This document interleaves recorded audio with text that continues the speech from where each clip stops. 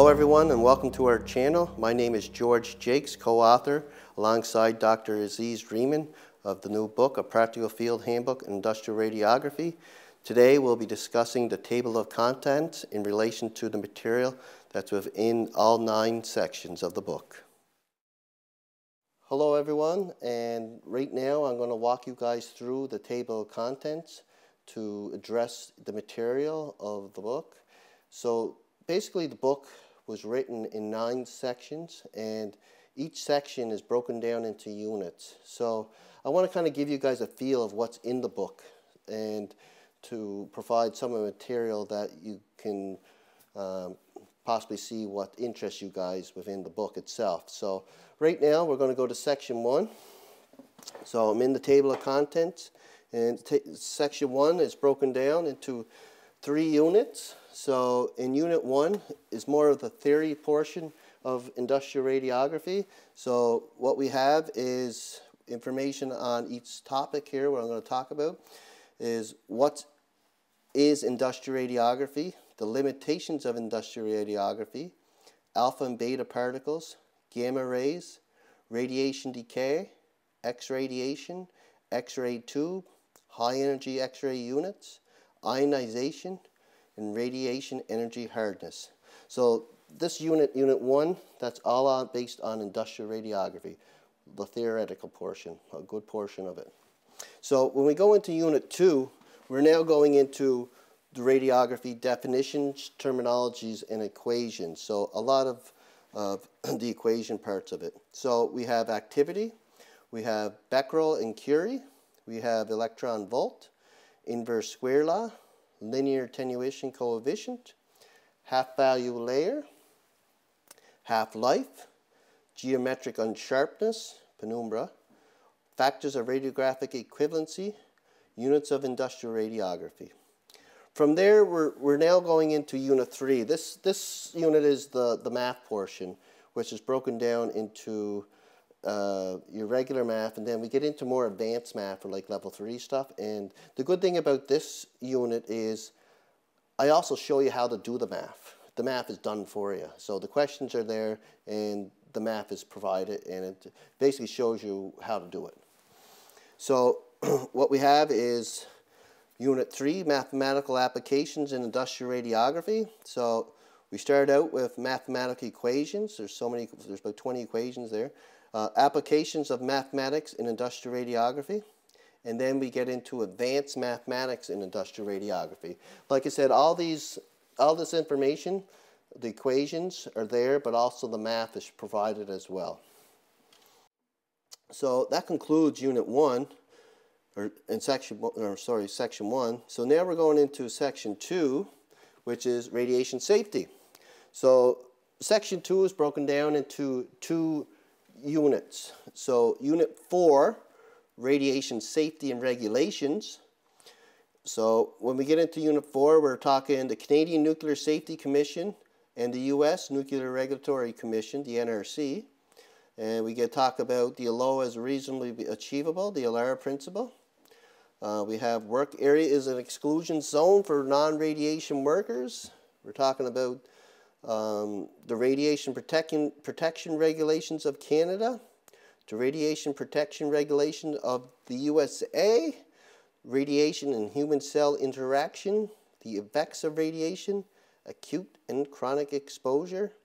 In addition, we have radiation monitoring equipment and emergency and other safety equipment. So from there, we're going into Unit 5, Industrial Field Radiography. So a lot of this is, a good thing about this unit is, is it talks more on the practical side, on the safety, on what happens in emergencies and situations, stuff that other texts usually don't address. So from here we have planning for industrial field radiography, preliminary radiation safety performance checks, setting up a controlled area, radiograph, radiographer dose monitoring, investigation of dose incidents, radiation emergency, minimizing radiation emergencies, and requirements for radiation source storage facility. So that concludes section two. And from there, guys, we're going down into section three, radiographic viewing. So this here, you'll find a lot of theory in this section. It's quite a large section in itself, but a lot of important material here for viewing, especially IQI selection and, uh, and radiographic film. So I'm going to now go into Unit 6, which is titled Radiographic Film Properties. So we have radiographic film, characteristics and properties of films, film character curves, radiographic film density, film latitude, film speed, film characteristic table, AGFA film types in comparison with other brands, pipe film class comparison and recommendation, signal to noise ratio of films, film packaging types, intensifying screens, storage of unexposed films. Bit of material there, but we addressed it all. It's best, we, best that uh, that's there. So unit 7, radiographic image quality. So another great unit on IQI. So very important topic here, guys. So image quality indicators, controlling radiographic image quality, controlling scattered radiation, selection of IQIs, placement of IQIs, other quality indicators, sensitivity improvement, example calculus for equivalent sensitivity like I addressed before, this is an international book, so we focused on all different forms of IQIs from your ASME to your, uh, your ISO to your DIN and also into the AFNOR IQI, which a lot of you probably don't know. But it's an international book, so we had to address multiple forms of IQIs. And within that unit there, you'll gather all kinds of detail and information regarding the topic of IQI. So now we're going into Unit 8, Radiographic Film Development, teaching you how to develop film. So, radiographic film handling, darkroom organization, radiographic film loading, film flashing, chemical processing, manual development process, film drawing, measuring film density, automatic processing, recommending film processing. And Common development failures. Why do we have failure in the darkroom? Unit 9, radiographic film quality. So in this unit, we're talking about importance of quality, quality versus production, quality control, quality audits, suggestive corrections. So another very important unit, especially today's day with all the audits and, and what to look for in quality. Very important stuff, guys.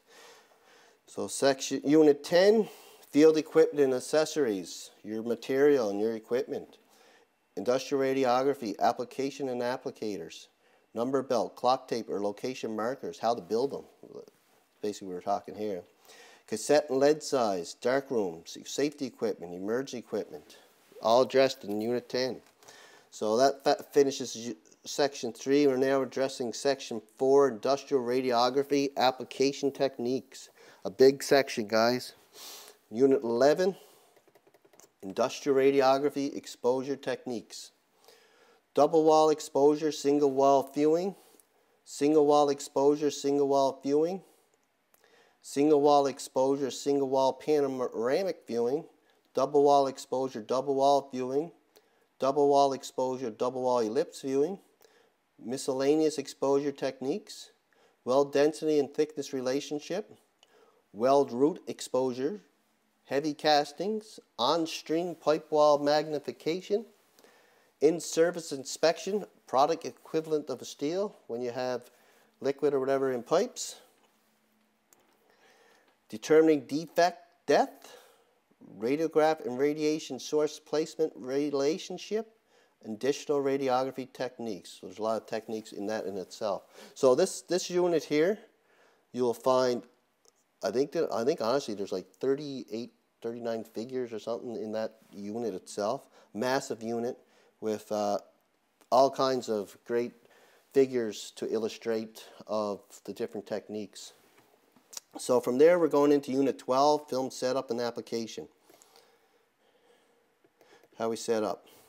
Film exposure setup, weld increments, radiographic identification, exposure time calculation, development exposure chart, exposure factors, exposure corrections, exposure setup applications.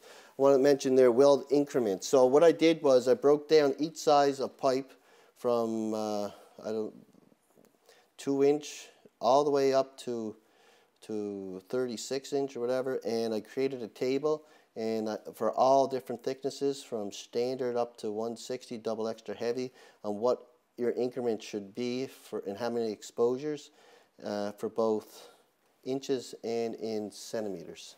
So there's two tables on that. So from there, we will head into Unit 13, Geometric Unsharpness and Magnification.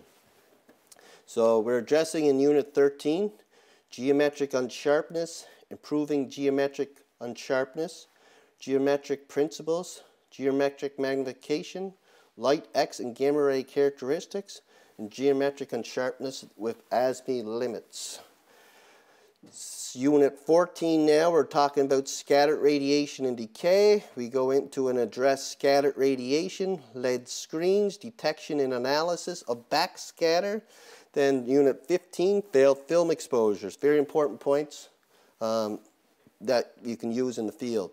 Common causes for failed exposures, limiting dark, shoot, dark room reshoots, limiting reshots for exposure device operators, x-ray operating window.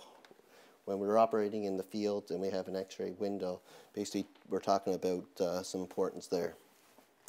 We all know we have x-ray windows in this field. Section 5, Radiographic Evaluation, Interpretation, and Reporting. Another large section, one of the largest. now we're getting into the, uh, the interpretation part of it all. So Unit 16, General, Radiographic Identifications, Codes and Standards, Radiographic Interpretation and Reporting, General Reporting, Evaluation and Interpretation, Radiographic Viewing, Radiographic Technique Evaluation, Marking Repairs, Reporting False Indications, reporting calculations for object to film distance and source to object to distance. I show you how to calculate for object to film, source to object, and also source to film distance. Then we have Unit 17, Radiographic Film Artifacts. So we're addressing here radiographic film artifacts, film artifact example radiographs, automatic processing film artifacts. Unit 18, welding radiography, common welding discontinuities, welding discontinuities illustrations. So right here, guys, that's a very important for your interpretation aspect. We address each welding discontinuity in itself. We're addressing the, um, we'll provide radiographs and illustrations of the different discontinuities. Very important unit. Unit 19 now, pretty much the same, but we're addressing forging and casting radiography.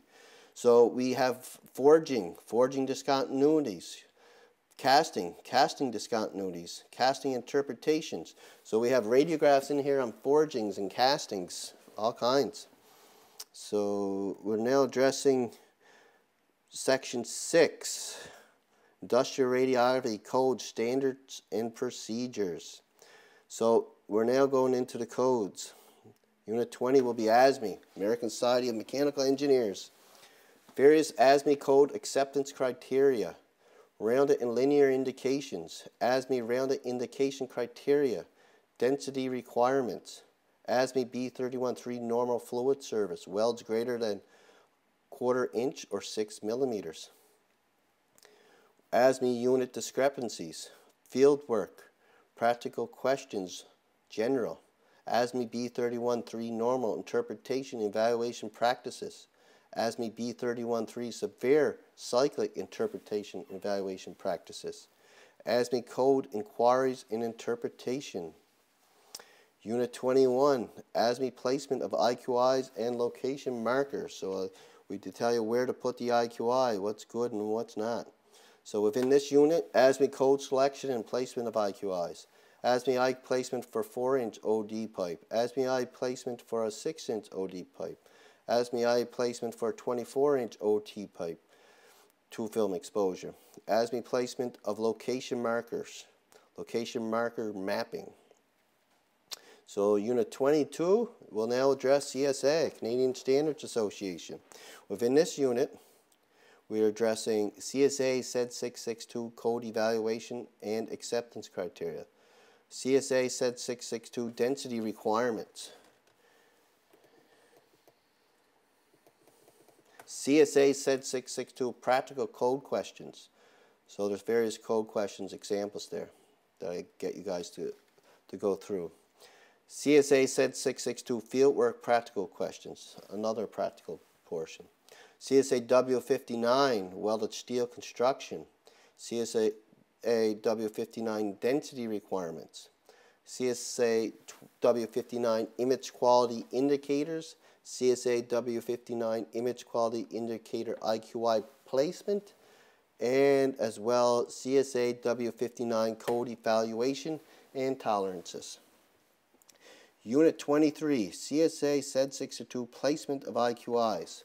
So now the placement for IQIs for CSA. CSA Z662 code selection and placement of IQIs. CSA Z662 IQI placement for a 4-inch OD pipe. CSA Z662 IQI placement for a 6-inch OD pipe. CSA Z662 placement IQI placement for a 24 inch outside diameter two film exposure, CSA Z662 IQI selection. Unit 24, we're addressing API, the American Petroleum Institute. API 1104, selection of IQIs. API 1104, placement of IQIs. API 1104, film density. API 1104, discontinuities and acceptance criteria. 25 additional standards and norms. So we go over the ASTM International and then we're going over the European norms. Section 7, a lot of level 3 stuff here, guys. Industrial radiography and pro pro professional certification. So we're going into the, the certification scheme and uh, some procedure development stuff in the other units. So so in Unit 26, we talk more on the professional certification industrial radiography. Industrial radiography certification, the certification process, the recertification process, the Level 3 certification industrial radiography, suggestions for competency and skills improvement, recertification through reexamination. Unit 27, sample certific certification questions, Level 1 and 2, there is sample theoretical questions for level 1 and 2 in this section. And in there's a couple hundred questions alone in that in that section itself. So unit 28 we have like 100 level 3 questions and 10 certification questions. So within this unit 28 sample certification questions level 3 so sample certification questions level 3, sample certification code questions. Unit 29, industrial radiography examples. So in this unit, we're addressing a bunch of radiographs, examples, and the interpretation that goes along with it. Film artifacts, casting radiographs, welding radiographs, uncommon concepts in industrial radiography, all in Unit 29.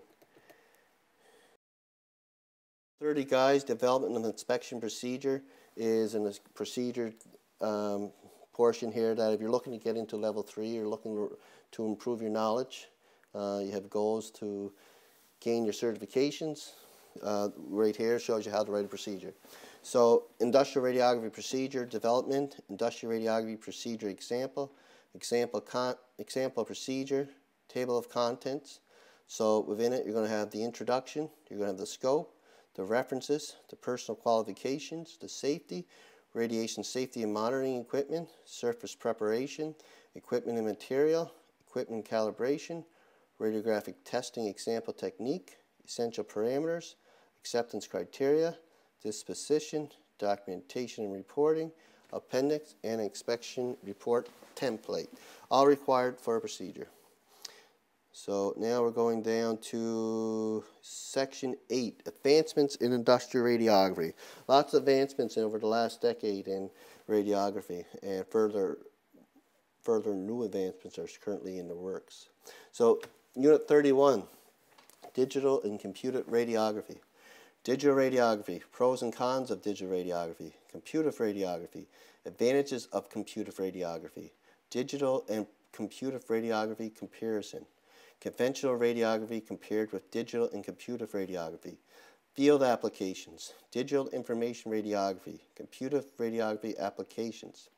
So unit 32, now we're getting into industrial radiography with selenium 75. Properties of selenium 75. Selenium 75 energy information. Section Unit 33. Small controlled area radiography, SCAR. Uh, great technology. I just worked on a project with it there. SCAR 959M, Baby SCAR 989, SCAR Pro, and we have the summary. Unit 34, real-time radiography, RTR. We have applications of RTR, advantages of real-time radiography, disadvantages, disadvantages of real-time radiography. Unit 35, field radiography pipeline crawlers for the pipeliners. Principles of X-ray field radiography pipeline crawler. X-ray position control devices. Pipeline X-ray crawlers, advantages and disadvantages. Now, section 9. Section 9, dependencies. So, guys, this is broken down now into four appendices, A, B, C, and D. Uh, my favorite is this, is actually, is this Appendix A here, which will provide uh, a lot of material for your field use. They're very important in itself is this right here, Appendix A. Um, you can use this in your day-to-day. This, this unit here, probably cost me uh, hundreds and hundreds and hundreds, I believe even a thousand hours to do uh, creating the IQI table. So I had to go through them. I went through them like four times just to, to make sure that everything's correct. But a uh, lot of a lot of time went through it. So within Appendix A, we have sensitivity and reinforcement charts for field use. So these are what you're going to use in the field.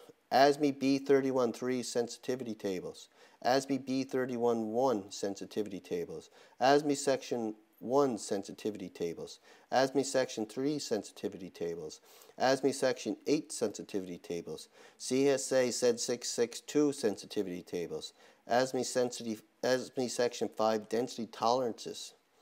That's your minus 15 to plus 30%. I calculated it all out for all the different densities. Um, IQI reference, reinforcement reference, all your reinforcement charts.